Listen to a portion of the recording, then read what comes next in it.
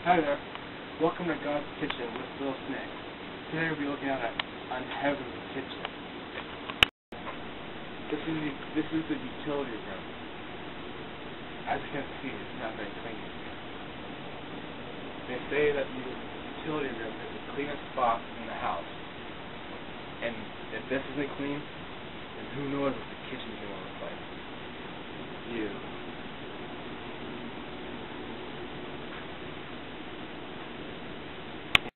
Can't stand being in here. Let's begin our journey.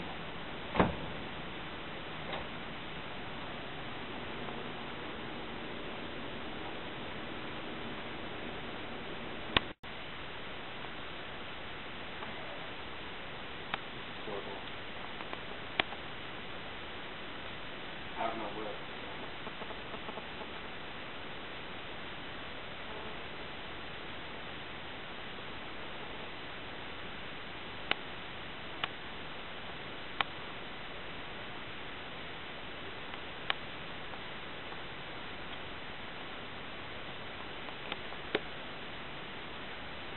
Let's get to work.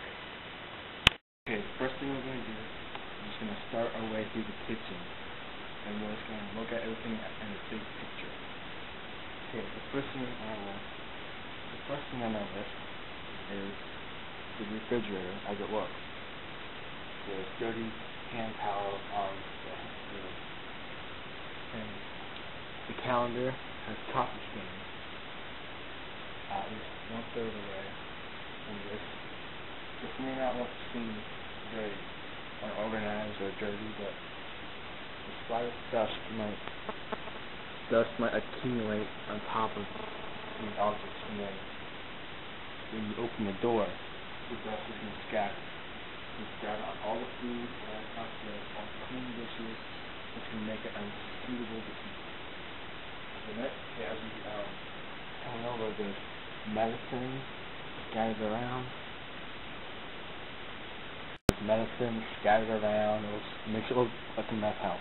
If I didn't have an idea that I was in an actual house, I'd think I was in a meth lab. Okay, we got open bread, a bag of open bread. We got bread strewn across the board, the counter. We got um, food counter. We got stains and food food stuff all over the counters. We got butter. Look at that. That's disgusting. Butter sitting on the counter for who knows how long.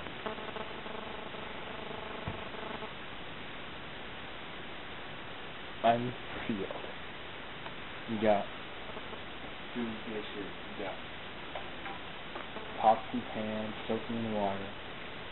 That's been here since breakfast time and you got dirty, you got open, open cabinets, open grill, houses painting ahead. And you also have an open tortilla bag. And if this doesn't make you cry, I don't know what will.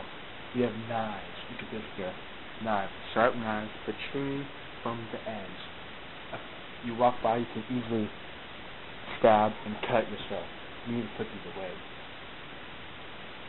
This is what this is for. It's to organize. You need to organize. You need to organize this counter. You need them some help. Ow! That's what happens when you don't put knives away. You get injured. There's also a cleaver laying around. It's scary for a person to do it. So you need to put this away. But as before you do, as you can see, there's water stains, there's meat stains, cheese stains, whatever they use it for, they never wash it. Back in. Ooh. The. Ouch! Then turn off the stove. And as you can see, someone was injured.